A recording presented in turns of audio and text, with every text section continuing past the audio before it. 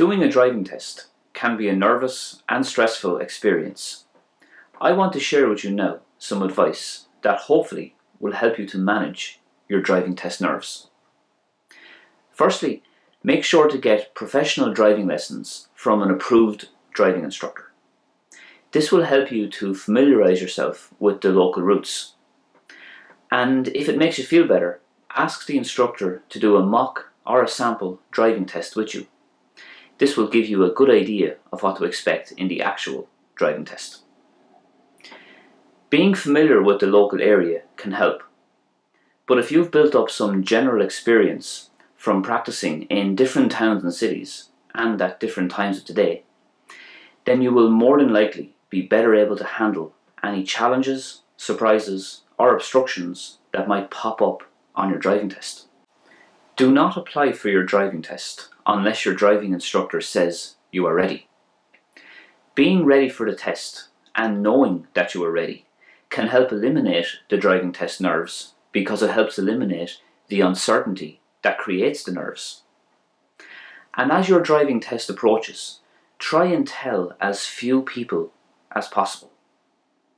The world doesn't need to know that you have a driving test coming up. If you tell too many people, you could be putting yourself under unnecessary pressure. On the test day, make sure to keep your energy levels up by drinking plenty of water and eating sensibly within the hour or two before your test. Fruits like blueberries and strawberries are good for concentration and can help you focus better. As your driving test time approaches, make sure you are early, but not too early, because the waiting room is very often where the nerves are most keenly felt. Arriving about 10 to 15 minutes before your appointment time is perfectly fine. And having a distraction can be good, such as a rules of the road book or some notes to read over.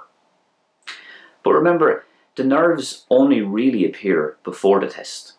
Once you start driving, you'll find that you'll be so busy concentrating on what the tester is saying to you that the nerves will gradually fade away. And as you're driving along in your test, try and take it one stretch of road at a time. There's no point in worrying about what could happen 10 or 15 minutes in the future when it hasn't happened yet. In this example here, I'm approaching the brow of a hill. So my main focus would be being aware of the speed limit, watching out for the road markings, keeping an eye on the two joggers here on the left, and preparing for any possible danger on the other side of the brow of the hill. Think of it like eating a bar of chocolate. You wouldn't stuff the whole bar down your throat in one go. You'd break it into little pieces and eat it bit by bit. Visualization techniques can also help you to manage your driving test nerves. Let's say, for example, you're worried or stressed about the reverse around the corner.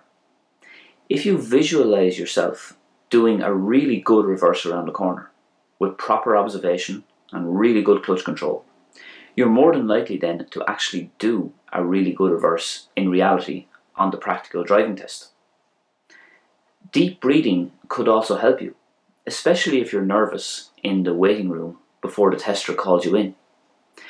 Breathing in slowly through the nose, holding it for a few seconds, and then letting it out could be a great way to manage and handle the anxiety of the driving test. Try and remember that being nervous before your driving test is not an entirely bad thing. Being nervous can help you concentrate more because it shows that you're taking the event very seriously. If you are not successful in your driving test, don't worry or stress about it too much. What's the worst that can happen? You just reapply and try again and learn from the experience. Failing the driving test is not the end of the journey, it's just part of the journey. So that's nearly it for now. If you enjoyed this video, why not check out some of my other videos on screen now about some driving test tips and one on driving test myths. Thank you for watching and I will see you very soon for another driving lesson video.